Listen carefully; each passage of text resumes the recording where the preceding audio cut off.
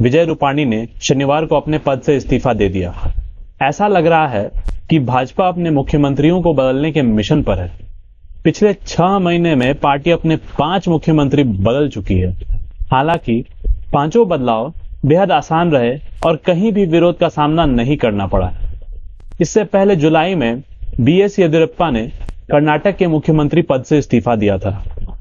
पैंसठ साल के रूपाणी अगस्त 2016 में मुख्यमंत्री बनाए गए थे, जब 75 वर्षीय आनंदीबेन पटेल ने उम्र को आधार बनाकर इस्तीफा दिया था। रूपाणी के नेतृत्व में ही भाजपा ने पाटीदार आरक्षण आंदोलन के बावजूद 2017 में विधानसभा चुनावों में जीत हासिल की थी। गुजरात में विधानसभा चुनावों से ठीक एक साल पहले मुख्यमंत्री के पद छोड़ने को लेकर कई सवाल खड़े हो गए हैं। रूपाणी के इस्तीफे की मुख्य वजह उनके नॉन परफॉर्मेंस से जोड़ा जा रहा है। सूत्र इसे कोर्स करेक्शन कह रहे हैं। केंद्रीय नेतृत्व रूपाणी के परफॉर्मेंस से संतुष्ट नहीं था।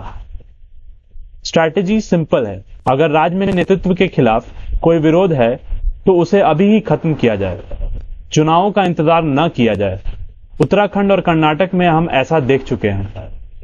कर्नाटक में येदियुरप्पा को हटाया गया और उत्तराखंड में दो दो रावत को। पिछले दिनों खबरें आई थी कि राष्ट्रीय स्वयंसेवक संघ रूपाणी से खुश नहीं है। संघ का यह फीडबैक भी रूपाणी के खिलाफ गया। संघ का जमीनी सर्वे मुख्यमंत्री के खिलाफ पैदा हुई नाराज़गी दिखाता है। सूत्र बताते हैं कि संघ के फीडबैक के आधार पर पार्टी अगले चुनावों में कम से कम 50 विधानसभा क्षेत्रों में उम्मीदवारों के चेहरे बदल सकती है। कई विधायकों के टिकट कटना भी तय बताया जा रहा है। गुजरात में कोविड 19 को लेकर मिसमैनेजमेंट देखने को मिला। पिछले साल खबरें आई थी कि खुद मोदी और शाह भी रूपाणी से नाराज़ थे। गुजरात के निर्दलीय विधायक जिग्रेशन मेवानी ने कहा कि गुजरात के लोगों को अच्छा लगता यदि रूपाणी कोविड 19 संकट से निपटने में नाकामी की वजह से इस्तीफा दे देते यह इस्तीफा तो 2022 के विधानसभा चुनावों को लेकर लिया गया है। भाजपा ने रूपाणी को विधानसभा चुनावों से ठीक एक साल पहले हटाया है। पार्टी ने 2017 में भले ही रूपाणी के नेतृत्व में सरकार बनाई थी, उसकी सीटें दो अंकों में रह गई थी।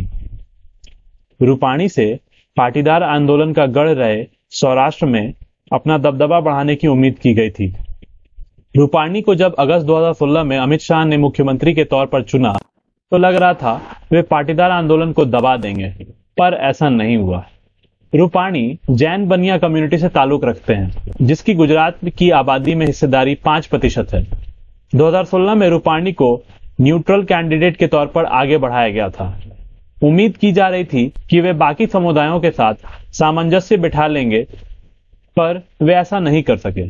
राजनीतिक पंडितों का कहना है कि पार्टी 2022 के विधानसभा चुनाव ऐसे नेता के नेतृत्व में नहीं लड़ना चाहती, जिसके साथ ज़्यादातर समुदाय न हो। रूपाणी के खिलाफ कुछ समुदायों के नेता लामबंद भी हो रहे थे। गुजरात में अगले साल दिसंबर में विधानसभा चुनाव होने हैं। उससे पहले राज्य के मुख्यमंत्री विजय रूपाणी ने इस्तीफा दे दिया। इसी पैटर्न पर 2017 चुनाव से पहले मुख्यमंत्री आनंदीबेन पटेल ने भी इस्तीफा दे दिया था। चुनावी पंडितों का मानना है कि सीएम बदलकर बीजेपी एंटी इनकम्बेंसी के असर को कम करने की कोशिश कर रहा है। हमने पिछले तीन विधानसभा चुनावों के आंकड़ों को देखा तो विजय रूपाणी के इस्तीफे की वजह और साफ़ हो जाती है। पिछले तीन चुनाव में बीजेपी की सीटें लगातार कम हो रही हैं और कांग्रेस बढ़त हासिल कर रही है। 2007 में बीजेपी ने 117 सीटें जीती थी, जो 2017 के चुनाव में घटकर निन्यानवे बची। कांग्रेस ने 2007 के चुनाव में उनसठ सीटें जीती थी, जो 2017 के चुनाव में बढ़कर 77 हो गई। दिसंबर 2022 में गुजरात की एक सीटों पर चुनाव होने हैं। बहुमत का आंकड़ा बानवे है और बीजेपी के पास फ़िलहाल निन्यानवे सीटें हैं। पार्टी ने 2017 विधानसभा चुनाव में 16 सीटों पर 5000 से कम वोट के अंतर से जीत दर्ज की थी। अगर इस बार एंटी इनकम्बेंसी की वजह से बीजेपी की 16 सीटें भी कम हो जाती हैं तो उनकी संख्या तिरासी बचेगी। इसी तरह 32 ऐसी सीटें हैं, जहाँ तीसरे नंबर आने वाले प्रत्याशी को मिले वोट जीत हार के अंतर से ज़्यादा हैं। ऐसी 18 सीटों पर बीजेपी जीती है। ऐसे में 18 सीटें भी कम हो जाती हैं तो पार्टी का आंकड़ा इक्यासी सीट बचेगा। ऐसे में बीजेपी बहुमत के आंकड़े से दूर रह जाएगी और गुजरात में बना पार्टी का किला ढह सकता है। इससे पहले भी भाजपा ने कुछ मुख्यमंत्रियों से इस्तीफा लिया था। आइए उनके बारे में जानते हैं। येदियुरप्पा ने छिहत्तर वर्ष की उम्र में 26 जुलाई 2019 को कर्नाटक के मुख्यमंत्री पद की शपथ ली थी। भाजपा ने तय कर रखा है कि 75 वर्ष में नेताओं को रिटायरमेंट देना है। पर येदियुरप्पा इसके अपवाद साबित हुए। उन्होंने कर्नाटक में भाजपा के लिए कई रिकॉर्ड बनाए। वे भाजपा के नेतृत्व वाले एनडीए के 18 मुख्यमंत्रियों के साथ ही पार्टी के पदाधिकारियों और केंद्रीय मंत्रियों से भी सबसे बुज़ुर्ग रहे। उन पर मुख्यमंत्री पद छोड़ने का दबाव बन रहा था। 16 जुलाई को उन्होंने प्रधानमंत्री नरेंद्र मोदी से मुलाकात की और उसके बाद से ही अफवाहों का दौर शुरू हो गया था। हालाँकि येदुरप्पा पत्रकारों से बातचीत में इन दावों को खारिज करते रहे और 26 जुलाई को उन्होंने इस्तीफा दे दिया। दूसरा, त्रिवेंद्र सिंह रावत। 10 मार्च को उत्तराखंड में त्रिवेंद्र सिंह रावत की जगह तीरथ सिंह रावत को मुख्यमंत्री बना दिया गया था। हरिद्वार में कुंभ मेले के दौरान यह बदलाव हुआ था। सूत्रों का कहना है कि इस बदलाव की बड़ी वजह हरिद्वार कुंभ में कोविड 19 का मिसमैनेजमेंट रहा था। त्रिवेंद्र से कई साधु संत भी नाराज़ हो गए थे और उन्होंने भी इस्तीफे की मांग की थी। तीसरा, सर्वानंद सोनोवाल। भाजपा ने 2016 में असम विधानसभा चुनाव सर्बानंद सोनोवाल के नेतृत्व में लड़ा। उस समय वे केंद्रीय मंत्री थे। इसके बाद उन्हें मुख्यमंत्री बनाकर असम भेजा गया। भाजपा ने पहली बार असम में अपनी सरकार बनाई थी। सोनोवाल पाँच साल मुख्यमंत्री रहे।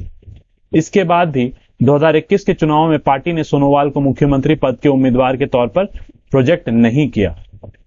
भाजपा नए मुख्यमंत्री के तौर पर सोनोवाल या हिमंता विश्वा शर्मा में से एक को चुनने को लेकर पसोपेश में थी।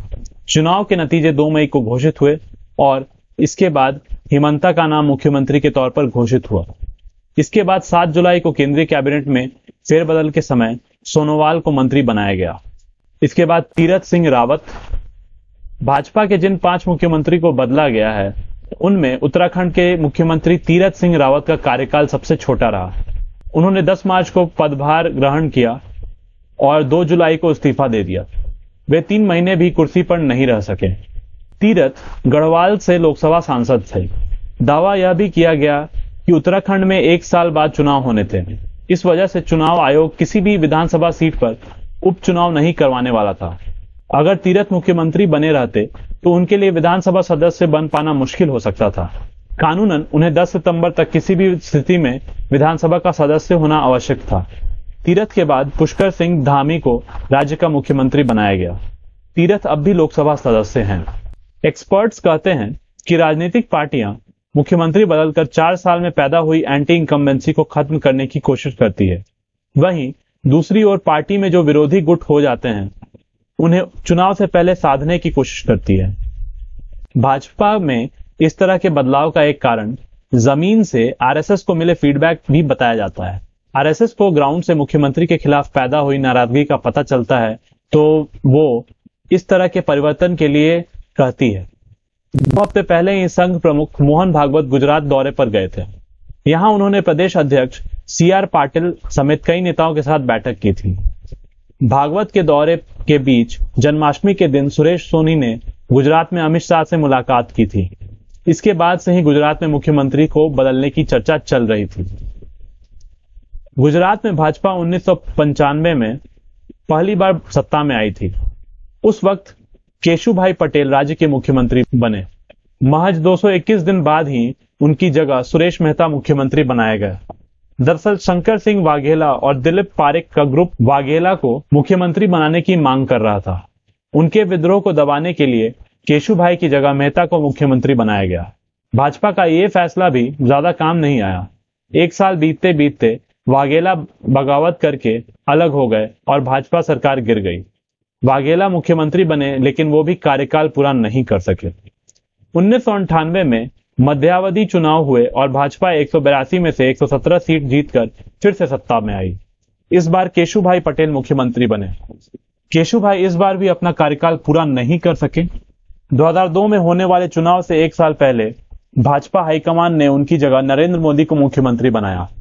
मोदी के नेतृत्व में भाजपा को 2002 के चुनाव में जीत मिली मोदी पहले भाजपाई मुख्यमंत्री रहे, जिन्होंने एक नहीं, बल्कि दो दो कार्यकाल पूरे किए। 2014 में प्रधानमंत्री बनने तक मोदी गुजरात के मुख्यमंत्री रहे। लेकिन मोदी के केंद्र की राजनीति में जाने के बाद भाजपा फिर उसी पैटर्न पर लौट आई है, जिसमें चुनाव से करीब एक साल पहले मुख्यमंत्री बदल दिया जाता है। ऐसा नहीं है कि ये सिर्फ़ गुजरात में होता है। इसे हाल के कुछ उदाहरणों से समझा जा सकता है। जैसे उत्तराखंड में मार्च 2022 में चुनाव है। उससे करीब एक साल पहले भाजपा ने त्रिवेंद्र सिंह रावत की जगह तीरथ सिंह रावत को मुख्यमंत्री बना दिया। तीरथ सिंह रावत को महज 114 दिन में ही बदल दिया गया। उनकी जगह पुष्कर धामी मुख्यमंत्री बना दिया गया कर्नाटक में भी, हाल ही में बी एस येदियुरप्पा की जगह बसवराज बोम्मई को मुख्यमंत्री बनाया है। कर्नाटक में भी मई 2023 में चुनाव होने हैं। गुजरात की बात करें तो उन्नीस सौ सत्तावन में हुए दूसरे विधानसभा चुनाव के बाद से एक विधानसभा कार्यालय में एक से ज़्यादा मुख्यमंत्री बनने का चलन शुरू हो गया था। दूसरी विधानसभा के दौरान कांग्रेस के तीन मुख्यमंत्री बने। चौथी विधानसभा में भी कांग्रेस ने चुनाव से एन पहले मुख्यमंत्री बदल दिया था। पांचवी विधानसभा में तीन मुख्यमंत्री बने। हालाँकि, हर बार अलग पार्टी का नेता सीएम बना।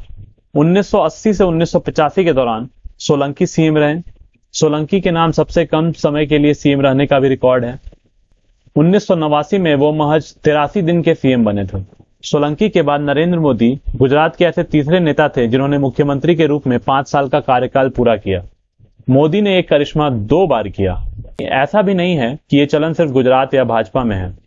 देश के बाकी राज्यों और कांग्रेस में भी इस तरह के कई उदाहरण हैं, जिसमें चुनाव से पहले मुख्यमंत्री को बदल दिया गया। इसी के साथ आज का ये खबर समाप्त होता है। अगर आपको ये वीडियो पसंद आया तो प्लीज़ इसे लाइक कर दें और हमारे चैनल को सब्सक्राइब करें। तो मिलते हैं कल कुछ और नई और ताज़ा खबरों के साथ। धन्यवाद।